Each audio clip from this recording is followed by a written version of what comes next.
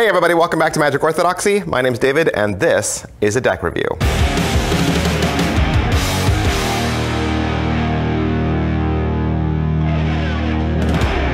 Hey, today we're gonna look at the red stripe cards from Omar Renfro. All right, red stripe cards, uh, drawn by Omar Renfro. He's a LA-based designer and a magician, professional magician. Uh, he works also as a performance artist. His hobbies include photography, painting, filmmaking, and editing. He's also into architecture, philosophy, psychology, fashion, and design. He is a jack of all trades, and he applies his creativity to designing products and goods, just like this, a customized deck of cards. He also does apparel, and you can find a lot of his creations by visiting his online store, and you can find him at omarrenfro.com. Red Stripe playing cards are the inspired work of Pablo Picasso. That's an artist, kids. Each card was hand drawn back in 2015. Uh, he made an entire mock-up deck back then, uh, tuck case and cards, all hand drawn, and this deck is the uh, digitally cleaned up version. Tuck case is all done in this white matte, kind of looks like canvas. You got this pinkish red stripe that goes all the way around, like a paint stripe from a paintbrush. Has his signature down there at the bottom in 2015, homage to when the first deck was created. The bottom has some ad copy uh, from Hanson Chien, who is the printer from this, and you can see they were actually printed in 2017. The back design says red stripe playing cards one of 2,500. There's nothing else on here except for uh, the inside is beautiful. The inside tuck flap shows uh, one of the king's hands reaching inside to pull all the cards out. And then the inside tuck lining is actually the back design of the cards, kind of uh, deconstructed uh, for a beautiful inside tuck case. That is pretty much it for the tuck case. Let's take a look at these cards. Like I said, this is all creatively inspired by Pablo Picasso, and you can see that uh, from the back design. This is a fully customized geometric back design, uh, and, and it's all the way through. You're going to see custom arrangement all the way down to the spot cards, even to the font in the corner, to the jokers. Uh, it's all, all completely been redone.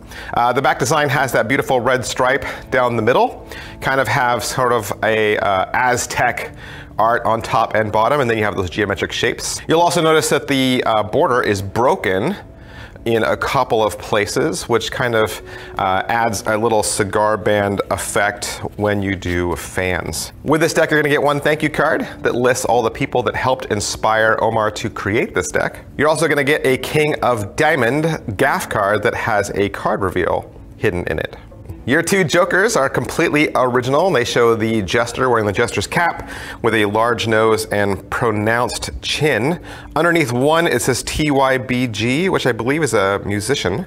And the other one says, imagination is more important than knowledge, which is a quote from Albert Einstein. Your Ace of Spades has a beautiful, large, exploded pink-red geometric shape. It does say ace in the corner instead of just A, and it says uh, Omar Renfro 2015 underneath. And you're actually gonna see that on all the aces. They say ace in the corner, not just A. Your pips and indices are all completely hand-drawn. Each one is unique with unique placement. The pips, uh, the black ones are more of a gray with a black outline, and then the reds are more of a pink with a black outline. And then your court cards are all original as well. You'll notice that, that he has handwritten the word Jack, Queen, and King instead of just the typical JQK. And the artwork extends all the way to the edges. So uh, whereas the pips and indice cards uh, will leave kind of a white border, the court cards do not, and they are uh, full bleed printing all the way to the edge. And it's really just the uh, court's face.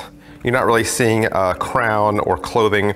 Uh, you do have the typical uh, sword on the King of Hearts, but I don't see any other weapons on any of the other court cards. Well, that's pretty much everything I can say about the look of these cards, but you also want to know how they might feel and handle. I did say earlier that these cards are printed from the Hanson Chien uh, playing card company, so if you don't have any other cards by Hanson Chien, um, I would say these are a thicker card than normal. If I stick 10 of these in the caliper, it comes to 3.00. 3.00 is like the old school uh, B decks. So that's kind of what it's going to feel like. It's going to feel like uh, maybe uh, a B deck from the 80s. It's the same thickness as the Oddbods playing cards, the blue white lines, the Carnival Deadeyes, and the Walty deck. Well, that's pretty much everything I can say about red stripe playing cards from Omar Renfro. Like I said, be sure to check out his website. Check him out. I'll post his .com and all his social media links below in the description. Thanks. I'll see you guys next time. Bye.